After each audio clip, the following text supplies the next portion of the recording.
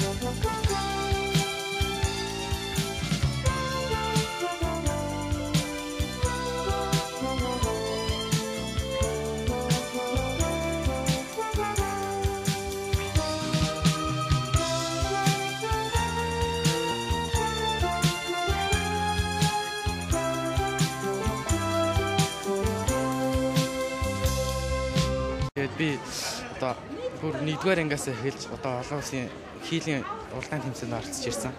Тэгээд одоо энэ уралдаан тэмцээнд орсон амжилтаа орж байна. Монгол улсын 2010 оны шилдэг мянган сурагч хүндэт номыг улсын хэмжээнд анх удаа бүтээн энэ номонд шалгарч орсон хот хөдөөгийн мянган шилдэг сурагчдад номынхон дээжийг гардуулах ёслын ажиллагаа эхлэхэд бэлэн болоод байна.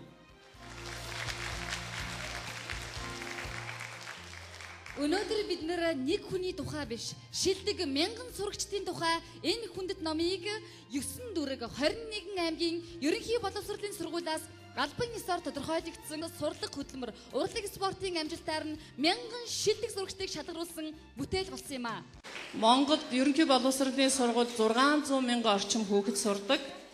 Тэр хүүхдүүдээс мянган хүүхэд хамгийн шилдэг гэдэг үзүүлэлтээр өнөөдөр шалгарч ном болж хүн болгоны уншдаг хүн болгоны мэдхийг хүсдэг тийм бүтээл болж ширээний ширээн дээр тавигдах боллоо. Энэ номын баатруу та бүхэн байгаамаа. 9 дүүрэг 21 аймгийн ерөнхий боловсролын сургуулиудаас албан ёсоор тодорхойлогдсон 10,700 сурагчдаас зөвхөн 1000 шилдэг сурагч болно гэдэг бол үнэхээр гайхалтай юм аа. Та бүхэндээ дахин баяр хүргэе.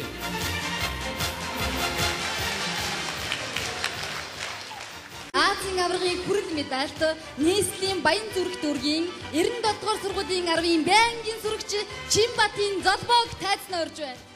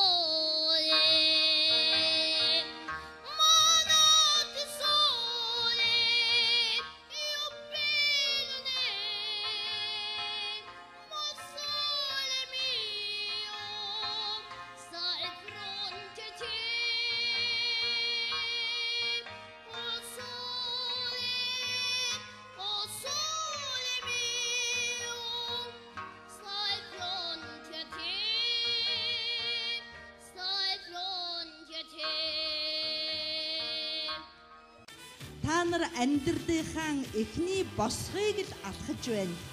Оргил их хол, их өндөрт байгаа. Тийм учраас 50 жилийн дараа гарах улсын шилдгийн шилдэг мэрэгжлийн боловсон хүчний тоонд та нар яг энэ хിവэрээ яг тэр оныхон тэргүүний тэргүүн шилдгийн шилдэг нь байгаарэ гэдэг ёроолыг та бүхэнд дэвшүүлье. Олон улсын уралдааны шагналт нийслэлийн скватер дүргийн хөгжим бүлгийн коллежийн 9А ангийн сурагч Баяр цогтын бэлгүүнийг тайцнаа өрье. Сурагч Бат сайхнын анхчин тайцнаа өрье.